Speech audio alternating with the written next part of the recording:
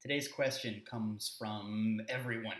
It's true. One way or another, since the very beginning of these videos, since I started asking people to send me in their questions, I have been getting some version of the following question How can I quit doing what I'm doing now?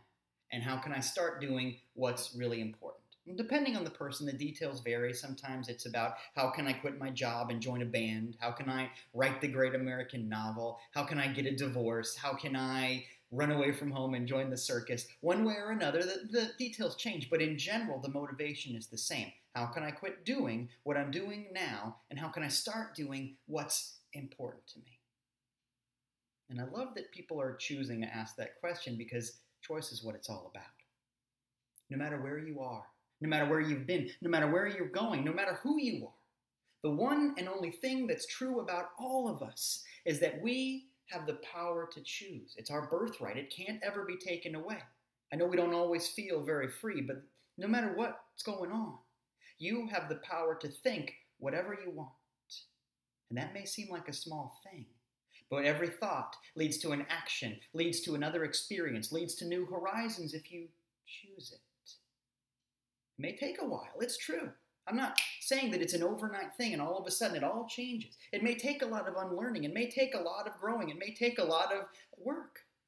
But one way or another, all of that begins with a choice that we make, and all of us are free to make that choice. And you know that because you're proving it over and over again with everything that goes on in life. You know that because we talk about it all the time. And the reason I bring it up right now is if that is true at all, if we have the power to choose, then it must be the case that you are already doing what's important to you. You are already doing what's important to you, otherwise, you wouldn't be doing it. Really, it's not about what you're doing, it's about why you're doing it. If you don't like what you're doing and you feel like it's not important, maybe the place to look is your priorities. Why is this important? Why do I want to do this? Why do I feel like this is a thing? Sometimes people do things because of negative emotions. Sometimes people do things because they're afraid that the money won't be there or because they absolutely need to have the approval of other people or all kinds of things along those lines. But it's really tricky to fix the experience until you fix the motivation you're already doing what's important to you. So if you don't like what you're doing, maybe the first step is to start looking at your priorities instead of at your actions. I'll give you two possible strategies to deal with this. Here's strategy one. Once again, look at your priorities. Decide that different things are important to you. For example, maybe if you were worried about money, maybe you need to find a way to make money less important to you.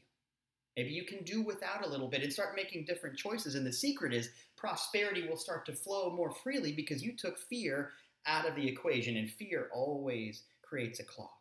Look at your priorities. That's strategy one. Here's strategy two look at what you're doing right now and decide this there's no accidents. And so I'm going to do whatever I'm doing like it is the most important thing I'm going to look at this situation, this relationship, this whatever it is, and I'm going to treat it like it is the cure for cancer. It is the beginning of world peace. It is the way to solve world hunger. It's, it's something that I'm going to fall in love with. I'm going to turn the full light of my love and my attention and my talent at this whatever it is and treat it like it is the most special thing in the world. Try one or the other of those things, maybe a combination of both, and watch what happens.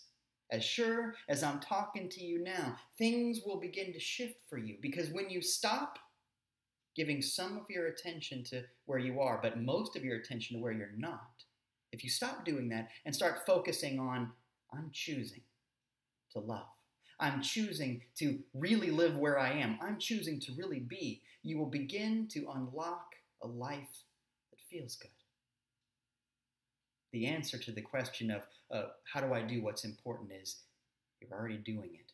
Choose what's important. It's important to me that you watch these movies. I, I can't thank you enough for watching them, for, for hitting that subscribe button, for sharing these movies with other people.